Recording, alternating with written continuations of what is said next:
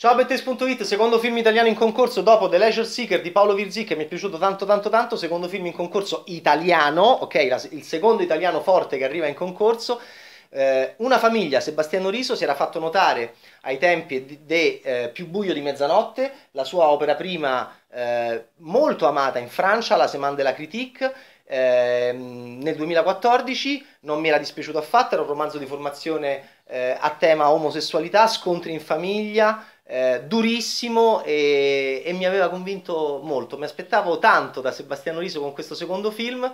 In realtà non mi è piaciuto per niente. È, è una storia, è un tema molto forte, molto importante. L'utero in affitto, una coppia, una coppia strana. Guardate, i primi minuti non sono nemmeno malaccio perché? Perché c'è questa idea del mistero. Sembra quasi un po' una fantascienza adulta perché c'è questa coppia in un vagone della metropolitana con all'improvviso l'idillio, sembra che stiano insieme, poi lei ha paura, ha paura che ci sia qualcuno sono loro, sono loro, indica delle persone, sono loro? Ma chi sono loro? Solo loro sanno chi sono loro, diceva Steve Martin nel Mistero del cadavere scomparso, una delle mie battute preferite della storia del cinema di Carl Reiner, uno dei miei film preferiti della storia del cinema, e, e quindi noi ci chiediamo, ma perché questa donna ha rotto quest'idillio, stava nel vagone della metropolitana a braccetto con il suo uomo? Perché scappa? Perché va via? Perché insegue queste persone? Perché sente attorno a sé la presenza di qualcuno? I famosi loro. Eh, poi dopo poco svanisce anche questa, questo mistero che mi aveva un po' intrigato nei primi minuti perché diventa un dramma brutto eh, sull'utero in affitto, cioè eh, Vincent, Vincenzo, Vincent perché è francese, quest'uomo e questa donna Maria, eh, lei sforna bambini che Vincent vende ad altre persone eh, eh, clandestinamente, illegalmente. L'utero in affitto. Allora poteva essere un tema fortissimo e affrontato in modo molto debole perché eh, Patrick Bruel eh, parla con questa dizione francese, con questo accento francese perché è francese, in un modo insopportabile. Lui era stupendo in cena tra amici, era quello che voleva chiamare suo figlio Adolfo, era tutto uno scherzo, irritando molto i suoi amici di sinistra radical chic, eh, e lì era strepitoso. Qua è riconoscibile in chiave drammatica, quella era una commedia, qui è in chiave drammatica, Patrick Bruel fa questo un po' eh, fa, questo, fa questo uomo cattivo, o quantomeno questo uomo segnato probabilmente da, da, da, da, un trauma infantile che poi è molto chiaro quale può essere, eh, visto l'anda, l'anda, l'andamento del film e visto il soggetto del film, che cosa c'è? Perché il cuore di eh, Van San eh, è così freddo, è così glaciale? È glaciale la fotografia, è glaciale Roma, è glaciale l'appartamento dove vivono, eh, è, glaciare, è, glaciare, la loro relazione. Michaela Ramazzotti fa sempre la borgatara in difficoltà, ansimante e devo dire stanca moltissimo nel film.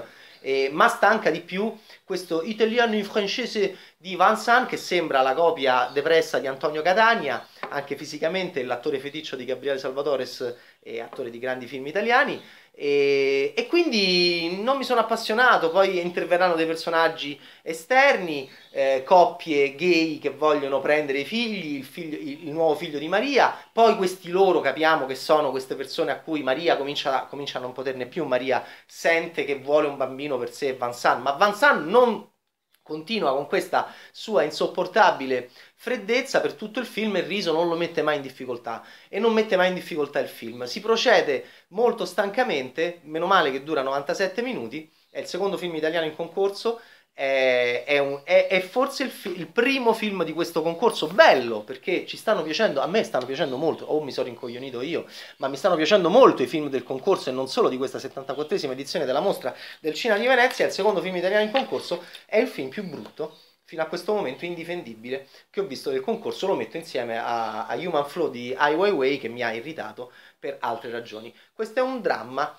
eh, devo dire, molto povero e eh, è molto stanco e chiuso in se stesso. Va bene? Però eh, Sebastiano Riso mi dispiace che al secondo film, per me, eh, questo è il mio punto di vista, poi magari vincere il Leone d'Oro, ehm, gli auguro di tornare perché eh, Più buio di mezzanotte era un bel film, eh, era un bel film, duro e sentivi la sua sgradevolezza. In questo film ho sentito, so, ho sentito solo l'idea eh, di una sgradevolezza, ma poi alla fine tutto risulta estremamente stanco e, e vuoto ok? Come il personaggio di Van San, eh, che Patrick Bruel non riesce minimamente a... ma perché eh, c'è il problema di sceneggiatura, c'è un problema evidentemente di direzione, eh, Patrick Bruel gira completamente a vuoto come tutto il film. Una famiglia, Sebastiano Riso, il secondo film italiano in concorso stecca, aspettando Palla Oro e i fratelli Manetti che sono i prossimi nostri connazionali in concorso qui alla 74esima edizione della Mostra del Cinema di Venezia.